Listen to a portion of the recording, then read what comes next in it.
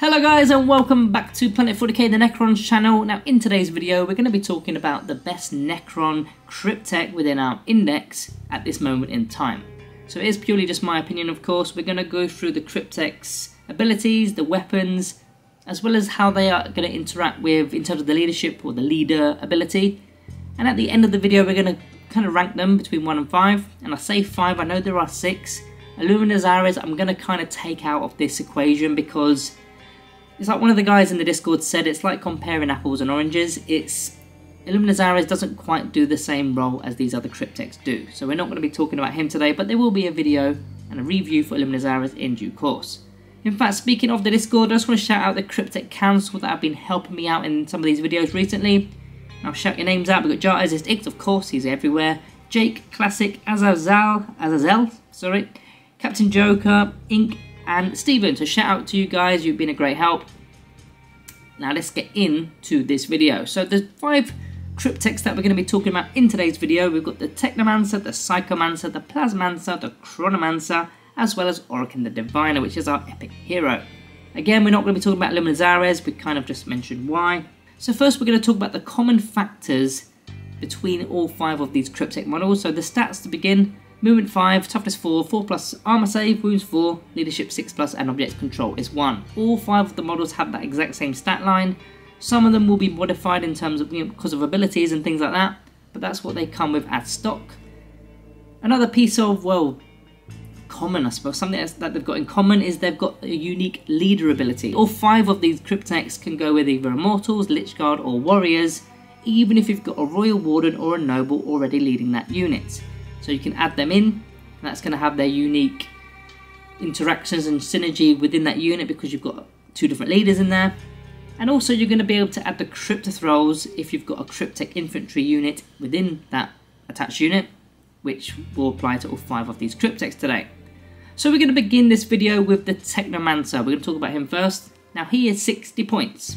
Now we're not going to go through this with a fine tooth comb, that's what the, what the reviews are for. We're just going to kind of skim through this and do a bit of a mini breakdown. So the main abilities here, Rites of Reanimation to give the unit a 5 plus no pain save, and you've got the Technomancer ability to heal a friendly Necron unit within 3 inches to, to heal D3 lost wounds. You've got the option then of either the Canoptek Cloak or the Control Node. The Cloak gives the bearer the fly keyword, lone operative, and the movement characteristics of 10. With that one, you've got to be careful because if you remember that if you are putting a unit, if you are putting a leader and a unit together, they will share keywords and you will pass on the fly keyword to the rest of the unit. So if there are any enemy weapons that relate to, you know, a plus one to the hit roll against flying units perhaps, that will trigger because this entire unit will now have fly technically, although they don't have the ability to fly, they're just sharing the keyword. But the other option is the control node, so while Canoptek units within 6 inches, they get a plus 1 to their hit roll. I've not actually yet tried that ability in 10th edition, I've always gone for the cloak. But yeah, in due course, I will be trying that one out. So these relate to, well, like we already said, the Immortals, the Warriors, and the Lychguard. Now the 5 plus no oh Pain Save is going to work on all three of these units, of course. So they've got their 3 plus or 4 plus armor save, and then a 5 plus on top of that with the Feel No oh Pain, which is going to work nicely with all of them. Not forgetting that the Cryptothralls will give the Cryptothralls as well as the characters, or the Cryptech character, a 4 plus Feel No oh Pain save. Now the Technomancer ability will work better with Lychguard because you're only healing. You're not getting three extra reanimation protocols rolls. It is just purely healing D3. So with Warriors and Immortals, they're only one wound model, so you're not going to be getting them up.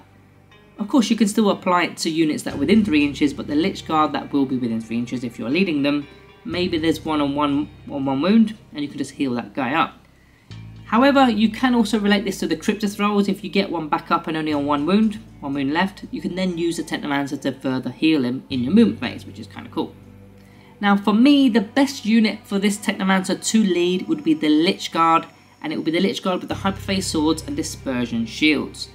Now the reason for that is they've already got an invulnerable save, so they don't need Orikan the Diviner for example. They've already got the invuln, so therefore they're just lacking the Feel No Pain save, which this will actually provide you. We already mentioned as well that you can heal wounds with Lychguard because they've got two wounds, so that's going to be that's going to work well there.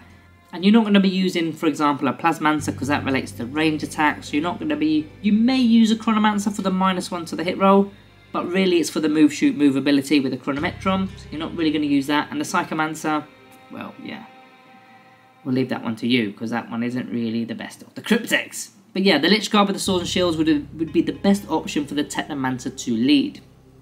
Talking about the weapons for the Technomancer, he's only got the Staff of Light, it's not doing much unfortunately. Yes, it is three shots. You may get lucky and peel a wound off a model, but realistically it's just a bit of bonus. It's not going to do you much there.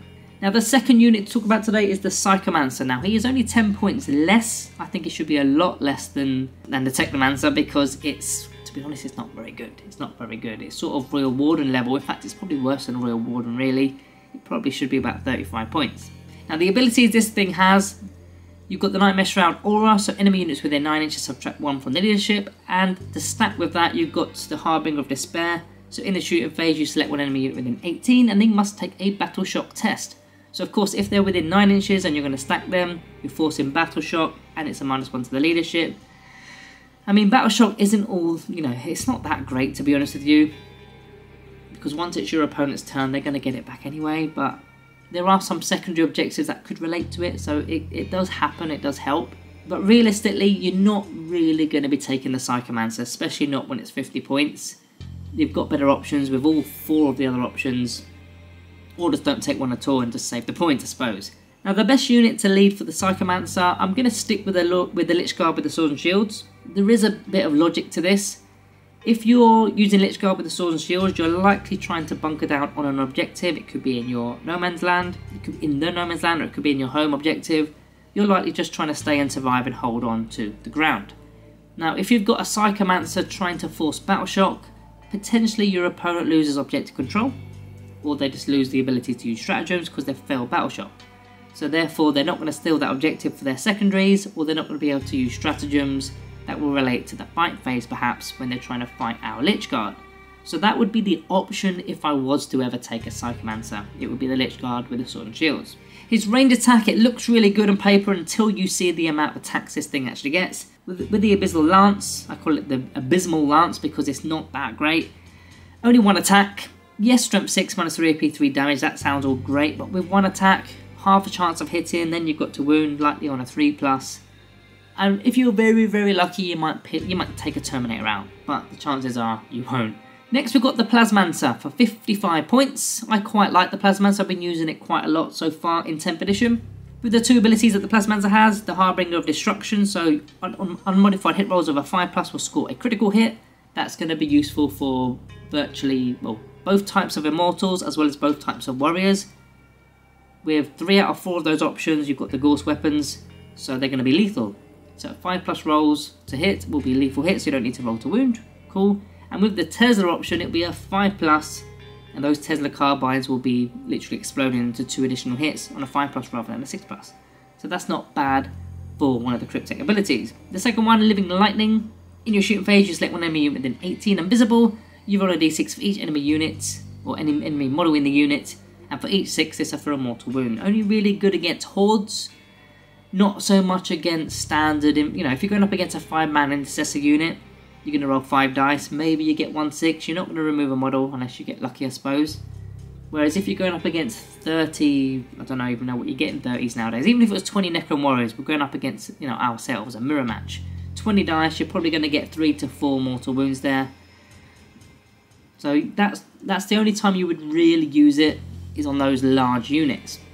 But yeah, you don't want to be you don't need a Plasmancer for the Lychguard because they've got no range attack, so there's absolutely no point. So what would be the best unit for the Plasmancer to lead? So this one, i have kind of put both in here. I put the Necron Warriors as well as the, Immortals. If I was to actually choose just one of them, ooh, I think I'd go with the Necron Warriors with the Gauss Flayers because you've got the 24 inch range.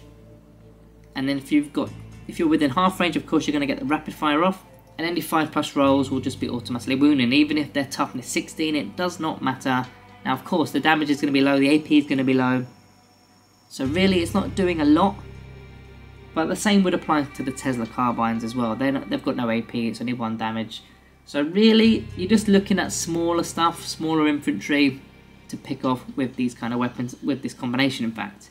But yeah, I would pick the Warriors and the Immortals. As for the weaponry that the Plasmancer has, the Plasmic Lance I think is actually okay. in terms of the Cryptek weapons.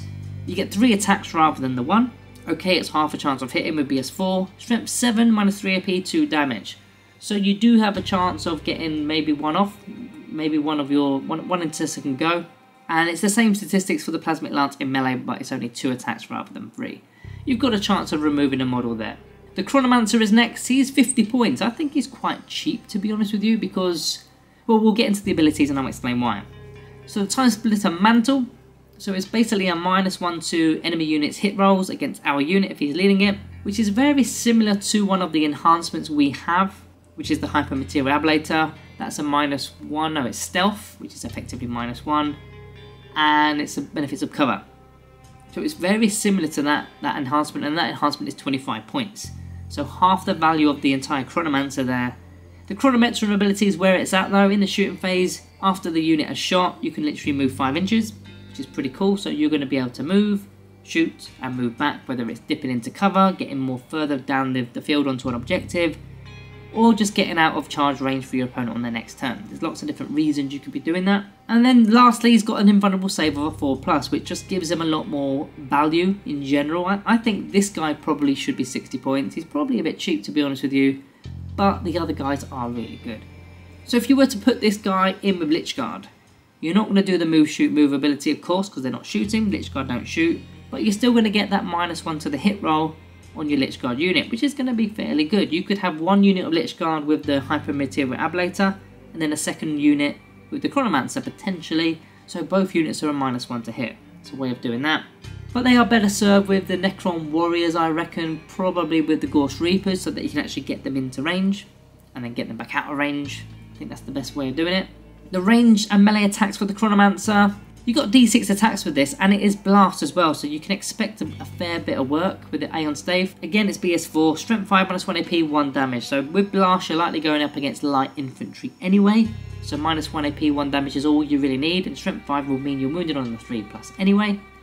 I think that is one of the better weapons out of all the Cryptek models. I quite like that one, and I also like the, the Plasmic Lance from Plasmancer. I think both of them are pretty good.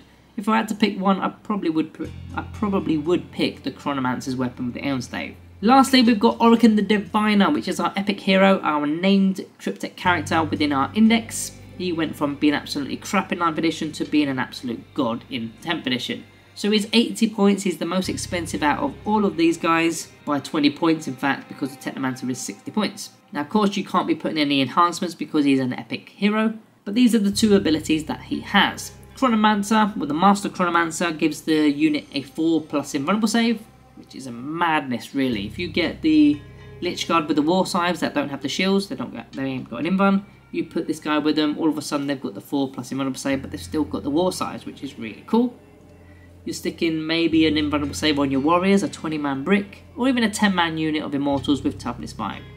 Could be a good combination. The stars are right, I think goes under the radar this edition because you get to select it, select when you're doing it this time. So once per battle when start the fight phase, you can hulk up. And if it does, you're tripling the attacks and the strength characteristics of your Staff of Tomorrow. And every successful wound roll made for the model to attack scores a critical wound. Now, in fact, we're going to talk about the weaponry more in a moment, but that is a really cool ability. We'll get onto that in a minute. So the best unit for Orikan the Divine to lead, in my opinion, would be the Lychguard and the War Scythes, not the Sword and Shield. They've already got an invuln with Orikan the Diviner. They don't need another one. So having the Strength 8 minus 4 AP 2 damage War Scythes with an invulnerable save could be really good. You could use the Warriors with the, the Warrior Brick. I probably wouldn't bother with the Immortals. I don't think it's necessary. But yeah, the Lychguard with the War Scythes is the one I'd go for. Now the melee weapon, they don't. It doesn't have any ranged weapons unfortunately, but the melee weapon is the Staff of Tomorrow. You only get two attacks with it. Web skill 3 plus, strength 4 minus 3 AP and D3 damage. But don't forget the stars are right ability. You are tripling the amount of attacks and tripling the strength for that one fight phase. So that all of a sudden becomes 6 attacks with strength 12. Now if you also remember, any successful wound roll will cause a critical wound. So it's almost like you're borrowing a 60 wound, but from any of them. So if you are strength 12 and you're going up against toughness 6 for example, a 2 plus will score a critical wound. And look at the actual keywords, he's got devastating wounds, which means no invulnerable saves. It goes straight through armor save, straight through M1 save. It's a devastating wound and it's D3 times, it's D3 damage. And because they are mortal wounds, they will be able to spill onto other models within the unit. So when you've got 6 attacks, you're likely getting 5 hits. Whip skill 3 plus, you might get maybe 3. Strength 12, minus 3 AP, and D3 damage, which is likely going to be devastating wounds. So yeah, he can literally be the difference between taking out a unit that's trying to annihilate your Lychguard and not really. I would always hulk up when you see an opportunity. So yeah, the best unit to lead for me would be the War Scythe, as mentioned with the Lich Guard. So that is our five Crypteks. Now it is time to rank them in order, and this is just my opinion, of course. Now I did do a bit of back and forth in the Discord. I had a completely different order just 24 hours ago, and I've, I've, I've finally amended it, and I'm, I'm quite happy with it now. I'm quite happy with it. So in fifth place, we probably would have guessed this already, but it's going to be the Psychomancer. The Psychomancer, you're not picking it. You just don't need to pick it. All four of the other options are better. It, there's just absolutely no need to pick it in my opinion. So I'm just going to kind of move on and go from there. So on to number four, we've got the Plasmancer. Now I was really reluctant to put him as number four because I've been using it quite a lot recently, especially with my Silvertide Necron Warriors. But I've kind of come to the realization that if you're playing Warriors, you're looking to survive. So therefore, you don't really need to do... The, I mean, it's not doing much damage anyway. Lethal hits, yes, is nice, but one damage isn't doing a lot. So therefore, if you are trying to survive, you've got better options, Technomancer, Orikan the Divine, and the Chronomancer. All three of those would be much better served with Warriors. So for me, he's going to be going at number 4. Number 3, I've gone with the Chronomancer. The cheap, one of the cheaper ones. In fact, he is the cheaper one, isn't he? Is he the cheapest? Let me just double check what that Psychomancer was, because I forgot. One, two, three. Wow. I can't believe the Chronomancer and the Psychomancer were the same price, guys. 50 points each. But yeah, getting that minus one to the hit roll could potentially save you on getting that enhancement. And then you're getting the move, shoot, move. You could pair him with the Royal Warden so that you can actually advance. Or just use the Protocol of Sudden Storm to gain assault on your weapons and then you can still advance anyway. Shoot, then move back. But yeah, the Chronomancer has a lot of uses if you're going to be more aggressive and you're trying to get into the No Man's Land as early as possible.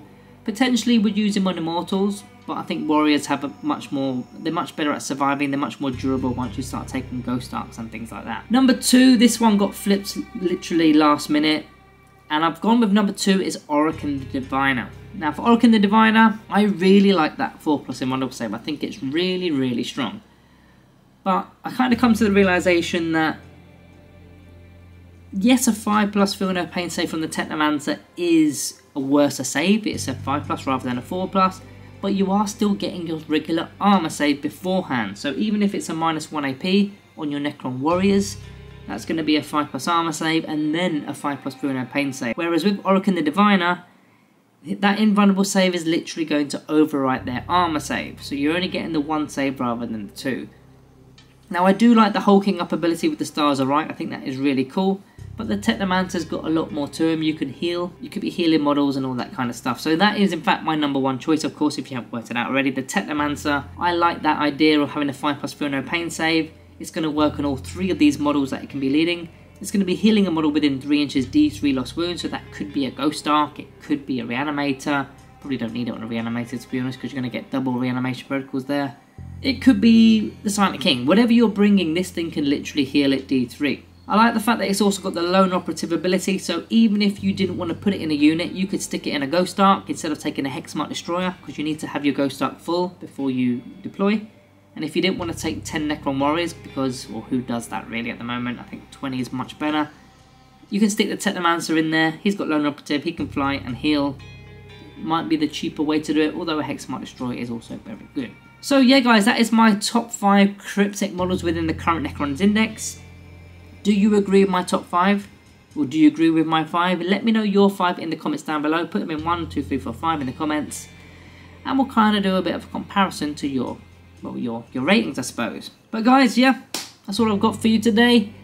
Remember to subscribe on your exits if you found this video interesting. Thank you for watching. See you in the next one.